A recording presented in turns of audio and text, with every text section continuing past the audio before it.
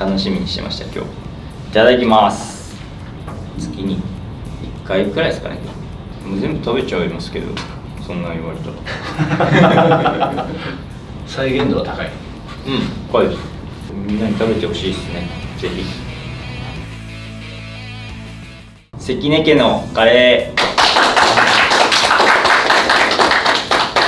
本日は関根選手に関根家のカレーを食べていただきますこれはもともと今シーズン始まる前にカレープロジェクト2023が始まるときに新カレープロジェクトアンバサダーに着任してもらった関根選手にいろいろ食べてもらいました。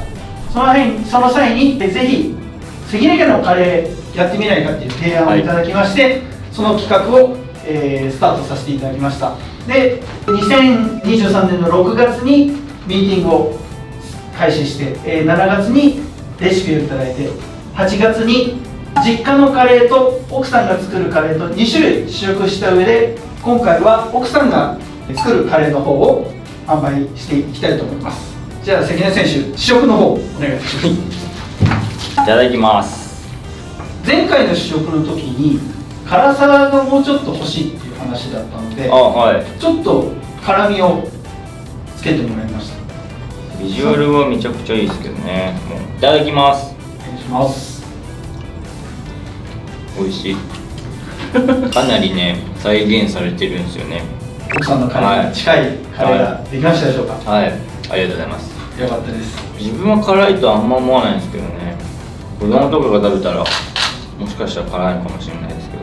関根選手が辛いのが好きだということで、はい。辛めに設定してますので子供はちょっと難しいかもしれない人の方にたくさん食べていただければで。温泉卵滑らかにはなるんで食べやすいかなとは思います。普段どんぐらいの頻度でカレー食べます？かそんなめちゃくちゃ頻繁には食べないですけど自分があの食べたいだなと思ったタイミングで奥さんにお願いして作ってもらってます。月に1回くらいですかね。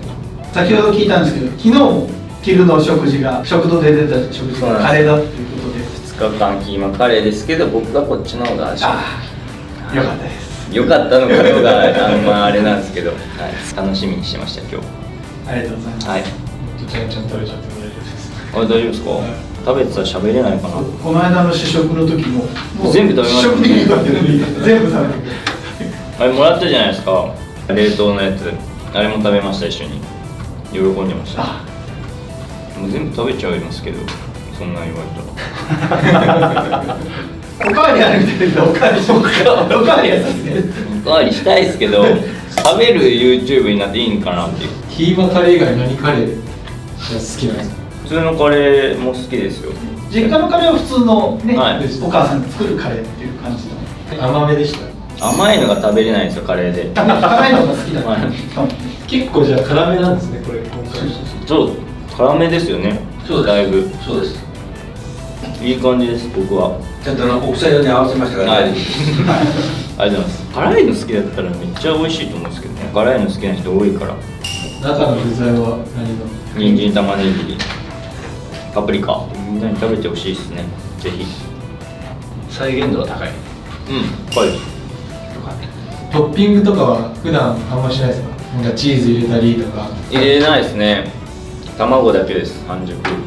チーズとか入れると怒られるんで太る。っ て選手がね。しっかり管理されて余計なもの食べちゃいけないはい、今回の関根家のカレーはファンサポーターの皆様にお買い求めしやすい価格で販売いたします。お米玉ねぎ人参の野菜は JA グループ埼玉の各農協さんよりご提供いただきます。ぜひ埼玉スタジアムに足を運んで僕の作ったこの関根家のカレーをたくさん食べてください。よろしくお願いします